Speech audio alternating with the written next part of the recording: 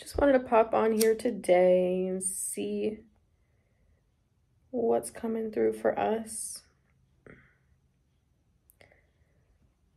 I want to peek into the Divine Masculine Collective.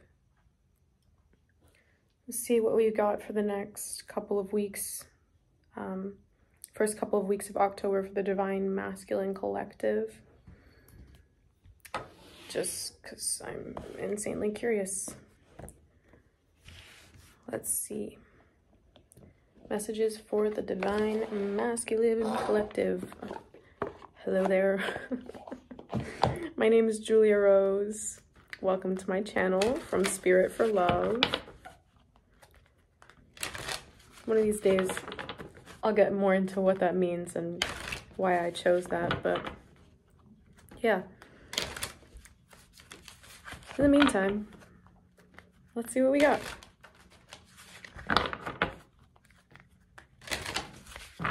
Messages for the Divine Masculine Collective.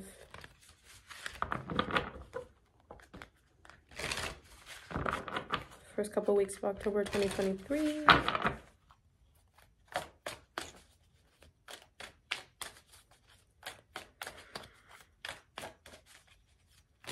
It's like foggy. I'm getting that vision is clouded. Um, like not able to really see clearly. Let's see what else we've got.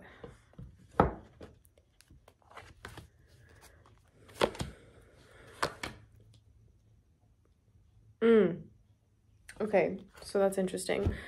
Uh, this one of these cards that came out, um, simplifying your life.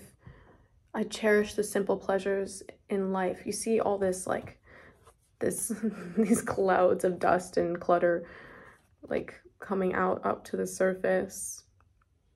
This is again related to the other message that I just posted, but about you know clearing house clearing house. Everything's gotta go spirit said. Everything's gotta go. So I'm feeling the divine masculine is going to be waiting for the dust to settle um, to be making any important life decisions right now or if they feel motivated with this fiery energy. I would encourage any divine masculines out there listening to this to to uh, slow your roll. It's not usually something I would say. Um, just to let that, just to see where everything falls into place. And then once that from that from that space of clarity being able to move ahead with your decision making and because of this being such a um, externally turbulent time it's a really powerful moment for the divine masculines to be reconnecting to their own intuition. We have this here awakening ancient wisdom, deep inner knowing is emerging within me. And this always reminds me of the Ace of Cups, like renewal of spirit. So you can see how the it's like a window in a dark cave, if you will. Mm. And the sun is shining bright on this this overflowing cup, illuminating what's coming out of it. So the divine masculines are trusting their intuition and leaning on it more strongly because they can't see as clearly and it's providing a sense of warmth and comfort that they might not have known before being able to trust oneself and rely on one's intuition to protect one's own interests yeah so that's huge. Go Divine Masculines. Uh, this They wanted me to pull a couple of um, cards from the Sacred Creators Oracle by Chris-Anne. Um, seeing here, okay, that one. Okay. There one more? Can I have one more, please?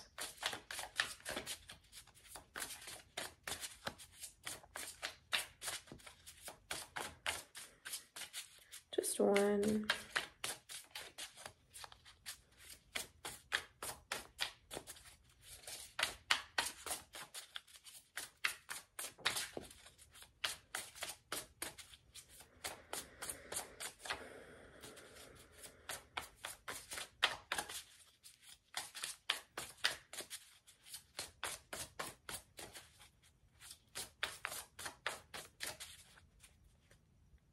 Okay.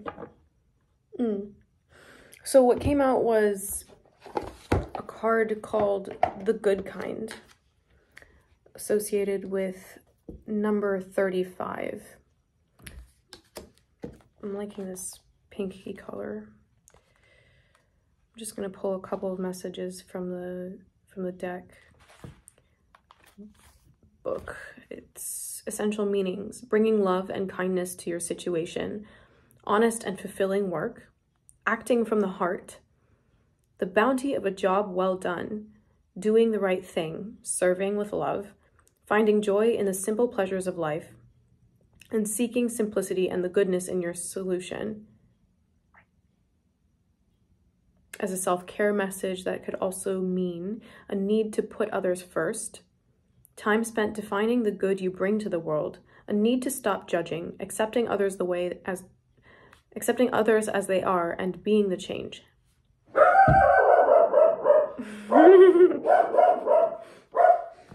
She's so funny. Okay. Being the change. Yeah. The divine masculine is is relying on instinct. And this instinct is guiding them in a way that their material eyes can't see. So it's providing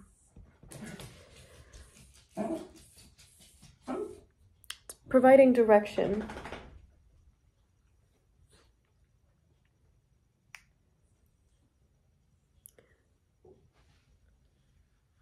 Yeah, this providing. She just bumped my leg when I said providing. Hmm.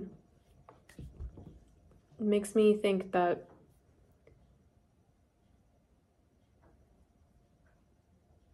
Oh, okay so your mission is in, another aspect of your mission is revealing itself to you. In order for you to be prosperous it, you're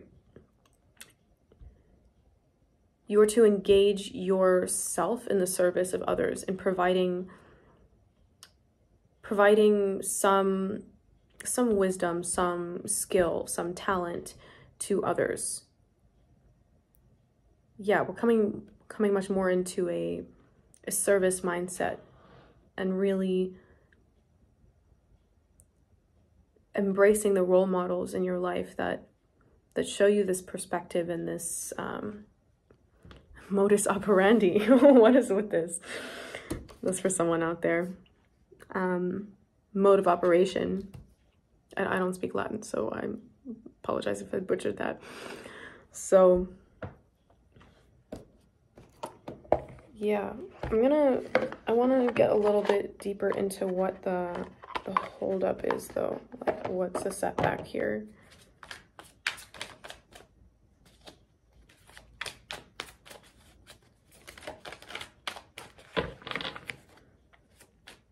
It's like you're coming into a new emotional awareness of yourself and because this is, oh, okay. So this full moon is catalyzing a lot of it's every every emotion that you had kind of nicely settled and packed down, compartmentalized, is all being just like brought up for you to process and review. And that is kind of that is one aspect of this this fogginess, this inability to see clearly. I need the air quotes there. Um Mm. Mm-hmm. Yeah, yeah. Mm-hmm. So, yeah. Like, Divine Masculine, do you, do you appreciate what a gem you are?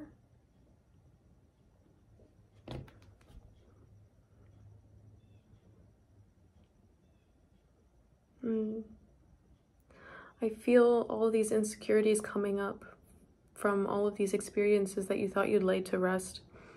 And it's causing your mind to spin and your heart feels thrown off balance, but really it was your heart that brought things up, these things up to the surface to be reviewed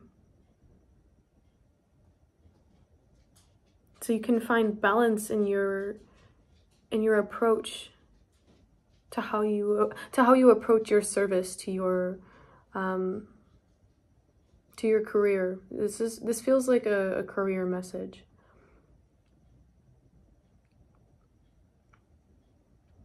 Your abundance is is tied to your tied to the alignment between your head and your heart. Working from a completely root chakra survival based perspective won't fulfill you in the way that you know you need. And as you're taking time to review all these things that are coming up, you're starting see you're starting to see how these these experiences have have taught you how how precious you are. Yes, I said precious. and how how cherished you are. How much you standing in your light and standing in your grounded masculine power is is such a powerful, such a such a strong catalyst for change not just in your own life, but in the lives of those around you and all the lives that you serve. And it's it's it's showing you this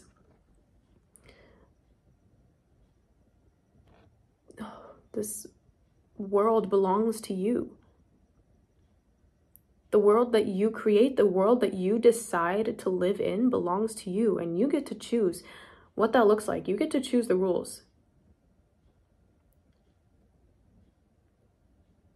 Of course, that has to be within your karmic circumstances and aligned with your soul mission.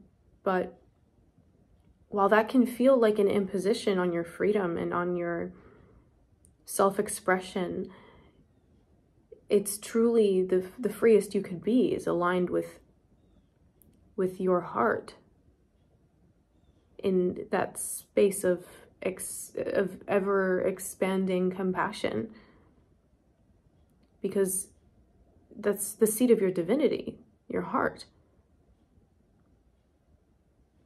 It's also the seat of divinity in your heart next to you. So look at you, this beautiful, beautiful pearl in this oyster. Revealing radiance, my light illuminates the world. Your light illuminates the world. And it's from that place that you'll be able to come into union with your divine feminine. When you're clear, when you're balanced in your heart, and when you appreciate how freaking special you are, how unique you are, and how how nuanced your gifts are according to your own propensities and desires. Once you accept and embrace this and release every every false story that has convinced you otherwise that your gifts have to be delivered a certain way that they're telling you to when you own your service and devote yourself to it that opens your heart and allows your soul to shine. And that that's like the the clear union body. You're you're ready to draw in the feminine. And from that space, you can hold space for the feminine. Her her standing in that mirrored energy won't won't trigger any any trauma shards still left in your chakra body. It won't cause you to repel away in pain. Because I hear you. I hear you. You're not looking for that again. Not in this lifetime. Whether you've met already in this life or it's been lifetimes since you've been able to connect. I know that's not what you're looking for again.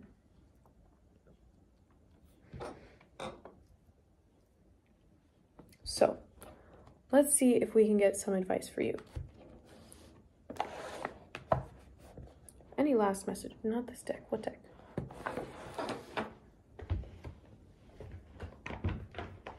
Okay. The Buddha Wisdom Divine Masculine by Sofan Chan. Okay, messages for Divine Masculine Twin Flame Collective.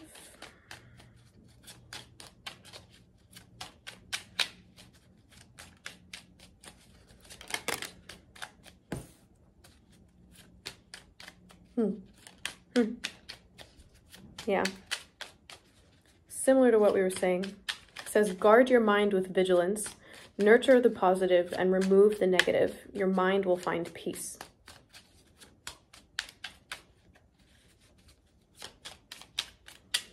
Mm-hmm.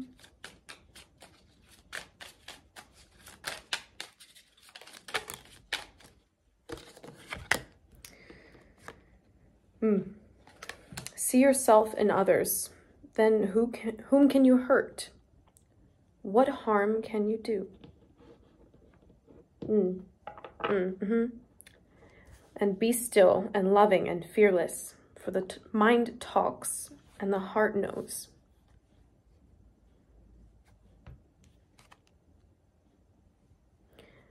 Yeah. So again, with this whole foggy mindedness, it's coming back to your heart space, doing what you can to stay grounded and aligned to your truth. And when the dust settles, you'll be able to see clearly, obviously, but see yourself for the powerful magician that you are. Wow. Okay. I love that for you.